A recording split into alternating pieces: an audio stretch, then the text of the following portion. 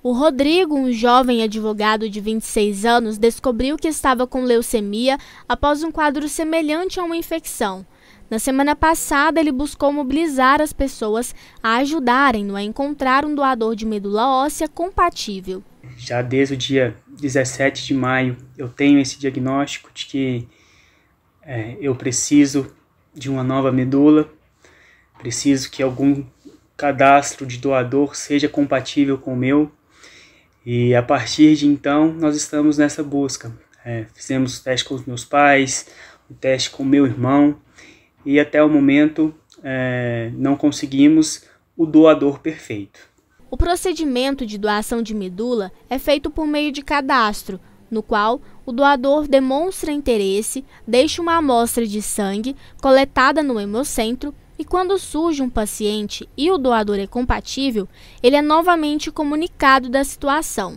Faz primeiramente um cadastro, né, com relação a nome, todas as informações que tem para poder ser é, realizadas dessa pessoa, verificar se essa pessoa seria apta a poder fazer esse tipo de procedimento, e é coletado o sangue dele de uma seringa, pouca coisa.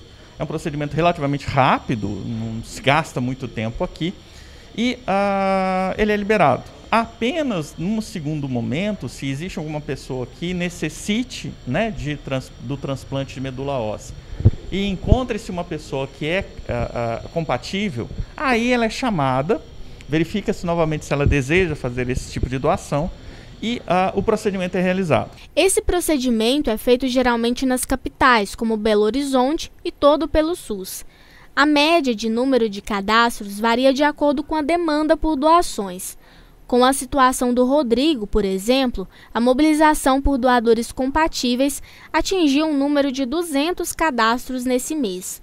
Mas nos meses anteriores, principalmente por causa da pandemia, a procura ao Hemocentro para se fazer o cadastro tem sido baixa. Nós tivemos uma queda, tanto na questão de doadores de, uh, de sangue, como de uh, potenciais pessoas que queiram fazer a doação de medula óssea. Houve uma queda bastante grande nesse sentido e realmente agora a população está se mobilizando novamente por conta da necessidade dessa pessoa.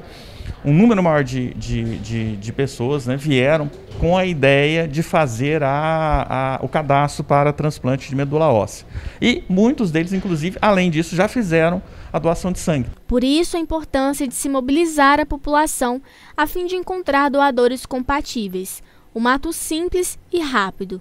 Devido às medidas de distanciamento social, a recomendação é que se faça o agendamento por meio do site do Hemominas ou pelo aplicativo. É melhor que, fez, que se faça o agendamento como se fosse de, de doação de sangue via o, o aplicativo, o AppMG. E a, ou o site do próprio Hemominas, hemominas.mg.gov.br, fazendo a, a, o seu cadastro para vir. E aqui ao chegar aqui, eles vão perguntar se é para doação de medula, se é para doação de, de sangue. E no caso só de doação de medula, ele vai para a fila de medula e faz a sua doação.